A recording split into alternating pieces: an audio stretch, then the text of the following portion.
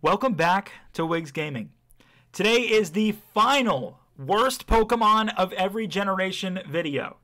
Now, there has been a highly requested uh, best Pokemon of every generation that I'm thinking about doing, but I'm not 100% sure on.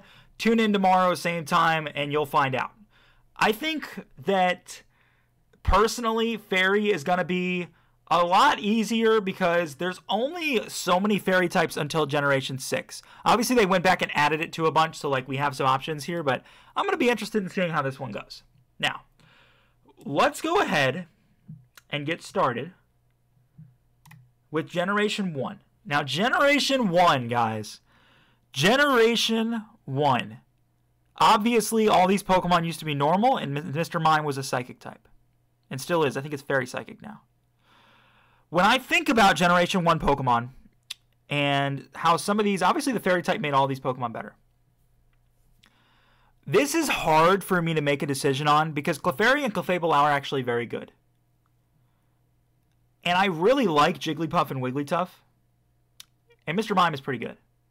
The thing is, is that I have to go with Jigglypuff. I don't want to because I actually, in using these in games, these are actually pretty strong Pokemon. I've had a lot of good success using them, but it is the worst fairy type. That's all you can really say. And then this here with Gen 6 gave a bunch of baby, baby forms. I did not know they gave Snubbull and Granbull fairy type. What? That's cool. I didn't know that. I did not know that. Well, if I'm going to pick a worst fairy type, it has to be Igglybuff in that case.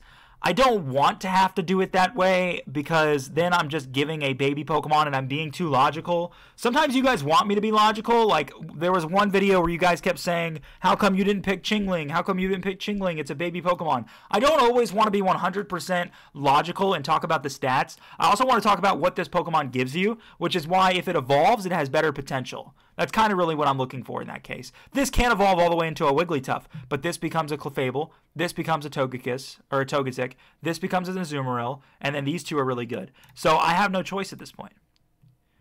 Gen 3. Hey! Hey, there you are. If you didn't watch our Steel Types video, go back and watch it. You'll get the reference, all right? I don't need to speak about Mawile anymore, man. I've spent way too much time on it. Way too much time. And this is another one where it like has to be Mime Jr. It's like, yes, it can go all the way to a Mr. Mime, but Togekiss is a better Pokemon. So I have to go Mime Jr.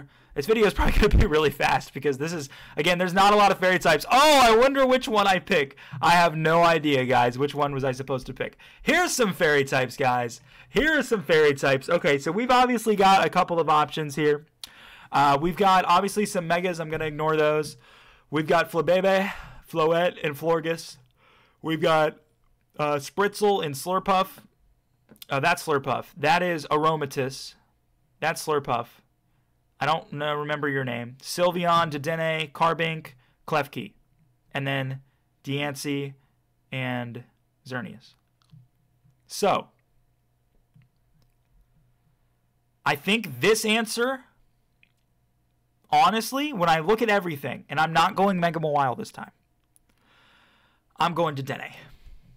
Dedenne, again, is a likable Pokemon with good qualities. It's still bad. Okay? I understand. I probably have picked every Pikachu clone at this point.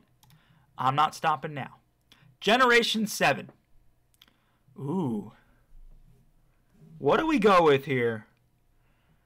I think I'm tied up between two. No, I'm not. It's Comfey. Comfey, again, is another interesting design. It's very similar to Klefki in the fact that it's something that possessed its favorite things. So Klefki possessed a set of keys, and then Comfey uh, possessed a lei because the region is from Hawaii, which is kind of cool. But Comfey is just not a very good Pokemon, period. It's really not. I just looked at the recording and I'm five minutes in and we're almost done. What are we going to do, man? We got to make the video a little bit longer. Generation 8. Wow. Oh no. Oh no. Oh no. I don't know, man. I don't know. Because I really like Impidimp because it evolves all the way to Grimmsnarl. Um, I like um, Hatterene. I like Galarian Rapidash and Galarian uh, uh, uh, Weezing. This is hard. I think if it were me, I would definitely pick Zacian. No, I'm just kidding. Uh, I'm 100% going to go with Impidimp. I don't want to because I actually really like the Pokemon. I think it's really unique. I like the fact that it's fairy and dark. I think that's super cool. It is not very bulky though. It dies really, really fast. So as much as I really like the Pokemon, I just don't think it's going to give us what we're looking for, unfortunately. Generation 9. I used a Dachsbun in my first run through but you cannot compare Dachsbun to Paradox Pokemon or to Tinkaton. And as much as I really like this Pokemon and how, excuse me, and how bulky it is, it's just not very strong from an attacking standpoint. And Brute Bonnet and Screamtail are just way better. That's not Brute Bonnet, that is Fluttermane. And so, because of that, I have no choice but to go with Dachsbun, and I wish I didn't have to. I really wish I didn't have to. I love its design. It's super bulky. It does decent damage. It's just not the best. So I didn't want to have to do it, but I did. Guys, I wonder what the worst fairy type is. Do you have any idea? No? Gee, I have no idea. I had no idea that was going to be the case. I had no idea that that's one of the worst. Is this the worst Pokemon they've ever created? Is it? It it might be, man. It might be. I tell you what, let's pick our let's pick the worst starters while we're at it. All right, I'm gonna go quick though. I'm gonna give two or three word examples on why these are the worst starter Pokemon. Okay, let's start with Generation One, obviously because it's an Eevee. Okay, Generation Two is Cyndaquil because Bayleef and Meganium are bulky, they're not attack heavy, and no one as a kid playing Generation 2 wants that. They want this one or they want this one. Generation 3, the worst starter is act oh, this is hard. It is Blaziken. No, it's not. It realistically the worst starter is probably Sceptile because it's a physical grass type, but I actually like I actually like like it more than I like Blaziken and more than I like Swampert, but it is what it is. The worst generation 4 starter is probably Empoleon. Uh, Water and Steel is pretty cool, but uh, it doesn't have that much attack. Generation 5, what did you think when you made Serperior? It's just another it's just a snake. Uh, Generation 6, I love Greninja. This one Chesnaught. they messed up on big time. Generation 7, it's to go to most likely uh, Primarina.